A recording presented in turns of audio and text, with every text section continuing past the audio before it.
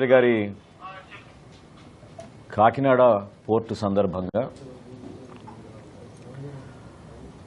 ఆయన పర్యటనలో భాగంగా ఎన్నో ఆసక్తికరమైన విషయాలు అదేవిధంగా ఒక స్మగ్లింగ్ మాఫియా ఏ విధంగా గత ఐదు సంవత్సరాల్లో రాష్ట్రంలో స్వప్రయోజనాల కోసం చివరికి దేశ భద్రతను కూడా పక్కన పెట్టి ఏ విధంగా చలాయించారో వాటిని ఎక్స్పోజ్ చేయడం ఆ పర్యటన సందర్భంగా జరిగింది.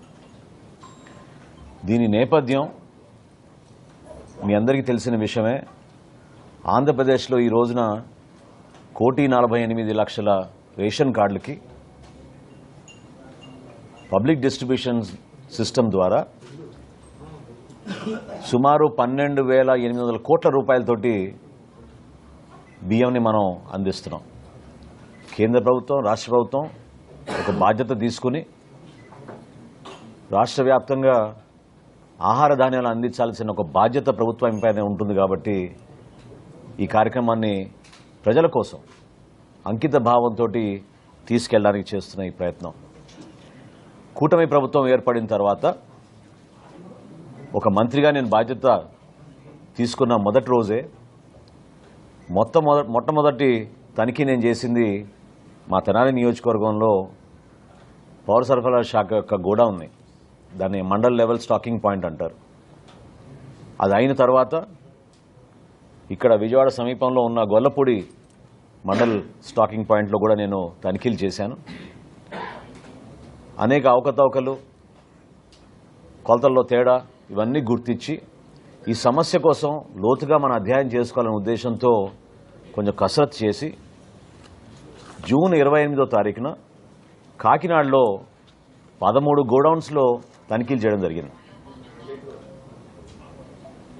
ఈ పదమూడు గోడౌన్స్లో ఆ రోజు జరిగిన తనిఖీల్లో యాభై ఒక్క వేల నాలుగు వందల ఇరవై ఏడు మెట్రిక్ టన్స్ బియ్యాన్ని ఆ రోజు సీజ్ చేయడం జరిగింది. ఆ యాభై ఒక్క వేల నాలుగు వందల ఇరవై ఏడు మెట్రిక్ టన్స్లో పరీక్షల తర్వాత ఇరవై ఐదు వేల మూడు వందల ఎనభై ఆరు మెట్రిక్ టన్స్ పీడిఎస్ రైస్గా నిర్ధారించడం జరిగింది. ఇది ఎట్టి పరిస్థితుల్లో అరికట్టాలి మార్పు తీసుకురావాలనే ఉద్దేశంతో అక్కడ స్థానికంగా ఉన్న అధికారులతోటి కలెక్టర్ గారి ఆధ్వర్యంలో కమిటీ వేసి జిల్లా ఎస్పీ గారిని అప్రమత్తం చేసి ముందు ఈ పదమూడు కంపెనీల పైన కూడా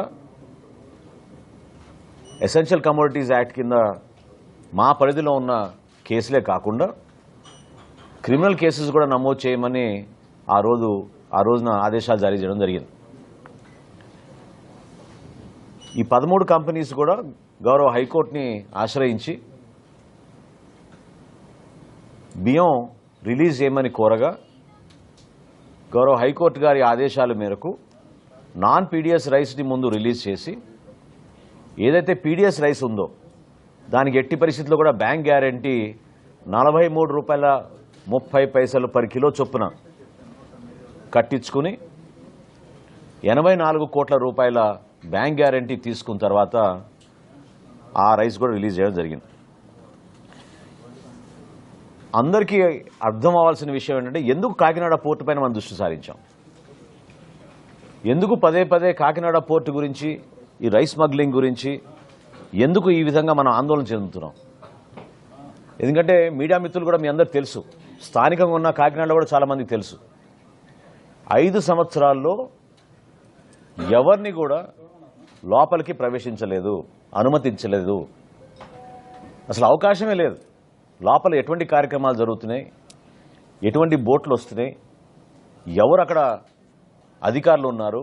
ఏ విధంగా ఈ కార్యక్రమాలు జరుగుతున్నాయి దానిపైన కనీసం ఒక్క మీడియా మిత్రులను కూడా లోపలికి ఆహ్వానించలేదు అనుమతి ఇవ్వలేదు.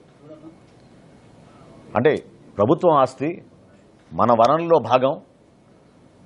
రాష్ట్ర ప్రభుత్వం ప్రతిష్టాత్మకంగా ఆ రోజు కాకినాడ పోర్టుని పంతొమ్మిది వందల తొంభై తొమ్మిది నుంచి ప్రైవేటీకరణ అంశంలో ముందు తీసుకెళ్తున్న తరుణంలో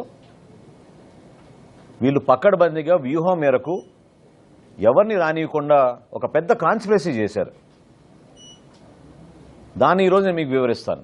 ఎందుకంటే ఎందుకు కాకినాడ పోర్ట్ ఎందుకు కాకినాడ పోర్ట్ అని పదే పదే చాలామంది దాని గురించి ఆందోళన చెందుతూ ఆలోచిస్తున్నారు.